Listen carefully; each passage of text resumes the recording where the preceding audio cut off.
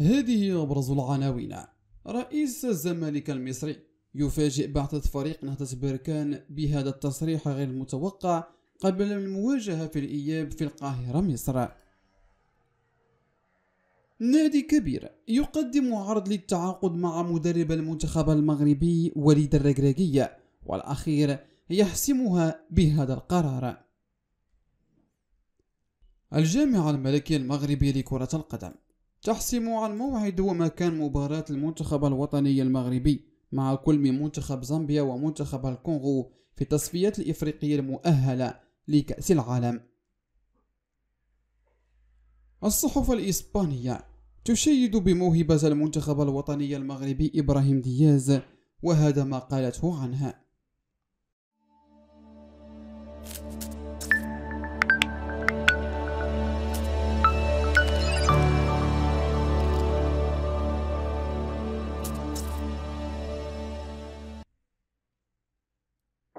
رحب حسين لبيب رئيس الزمالك المصري بالجماهير المغربية في اللقاء العودة من نهائي كأس الكونفدرالية الإفريقية بين فريقه ونهضة بركان. وانتهى الفصل الأول بانتصار نهضة بركان بهدفين مقابل هدف ليتأجل الحسم بين الطرفين إلى اللقاء العودة في القاهرة. وقال لبيب في تصريحات إعلامية ننتظر أهلنا من المغرب وتشرفنا بالحضور في القاهرة وأن تكون الأجواء مثالية مثل هنا فلقد كانت الضيافة رائعة. وواصل مرحبا بالجمهور المغربي مرحبا بهم في بلدهم الثاني. والنصر سيكون حليف من سيكون حظه كبير واختتم رئيس فريق الزمالك المصري المباراة كانت صعبة. نهضة بركان لعبوا جيدا ولم نكن في المستوى في الشوط الأول ولكن تمكنوا من العودة في الفصل الثاني. هذا وسيخوض ممثل الكرة الوطنية. الفصل الثاني من المواجهة في القاهرة يوم الأحد المقبل. على الساعة السادسة بتوقيت غرينتش على أرضية الملعب القاهرة الدولية.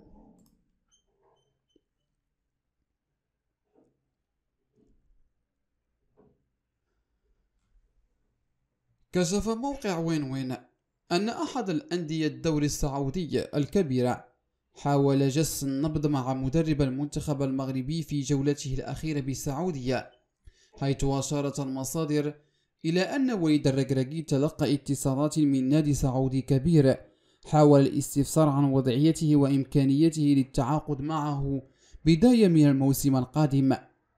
وأوضحت ذات المصادر أن مدرب المنتخب المغربي رفض التجاوب مع النادي الذي حاول التواصل معه مشيدا على احترامه لعقده مع اتحاد الكرة المغربي وأنه في مهمة طينية تمنعه من التجاوب مع العروض. ويراهن وليد الركراكي على النسخة القادمة من نهائيات كأس أمم إفريقيا بالمغرب إذ يستهدف التتويج باللقب. وفي حال فشل في ذلك فسيرحل عن المنتخب المغربي. وإذ نجح فسيستمر بقيادة الأسود في المحفل العالمي لكأس العالم الذي سيكون في سنة 2026 بكل من الولايات المتحدة الأمريكية والمكسيك وكندا.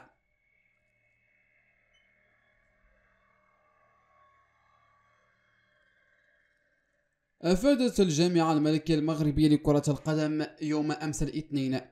بأن المنتخب المغربي الأول سيواجه منتخب زامبيا يوم السابع يونيو المقبل والكونغو يوم الحادي عشر من شهر ذاته برسم الجولة الثالثة والرابعة من تصفيات الإفريقية المؤهلة لكأس العالم 2026 لحساب المجموعة الخامسة. وأوضحت الجامعة في بلاغها نشرته على المواقع الإلكترونية أن مباريات المنتخب الوطني المغربي ضد نظيره الزامبي ستجرى بملعب الكبير بمدينة أكادير على الساعة الثامنة مساء. فيما ستجرى مباراة ضد الكونغو على الساعة الخامسة عصرا بملعب الشهداء بمدينة كينشاسا. وكان المنتخب المغربي تغلب في الواحد والعشرون نوفمبر الماضي على مضيفه التنزاني بهدفين دون رد في المباراة الوحيدة التي خاضتها النخبة الوطنية في هذه الإقصائية الإفريقية المؤهلة لكأس العالم. ويحتل المغرب المركز الأول في المجموعة الخامسة برصيد ثلاثة نقاط إلى جانب كل من زامبيا والنيجر وتنزانيا فيما تحتل الكونغو المركز الخامس من دون نقطة. وتنطلق نهائيات كأس العالم 2026 التي ستجرى أطوارها مناصفة ما بين ملاعب الولايات المتحدة الأمريكية وكندا والمكسيك يوم الحادي عشر على الملعب أزيتيك المكسيك على أن تختتم في التاسع يوليوز بنيويورك على ملعب ميتلايف.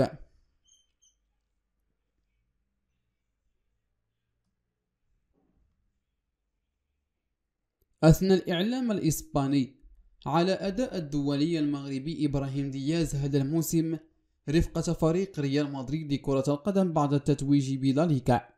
وأوضحت صحيفة ماركا لإسبانيا أن الوافد الجديد على عرين أسود الأطلس ونجم الميرينجي بصم على مستوى كبير مع ريال مدريد الإسباني. أشارت الصحيفة الإسبانية إلى أن إبراهيم دياز يتمتع بموهبة فطرية تسمح له بمراوغة الخصوم بسهولة مثيرة. شددت المصادر نفسها على أن الطينة اللاعب المغربي نادرة في عالم كرة القدم. مؤكدة أن قدرات دياز تقنية كبيرة ومميزة.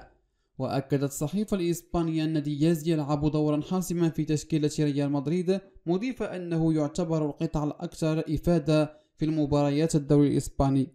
وواصلت أن إبراهيم دياز يستحق المزيد من الوقت للعب كما يقول أنشيلوتي مع 12 هدفا وسبعة تمريرات حاسمة حتى الآن فهو رابع أكثر لاعبين حسما في الفريق. بعد جود بيلينغهام وفينيسيوس جونيور ورودريغو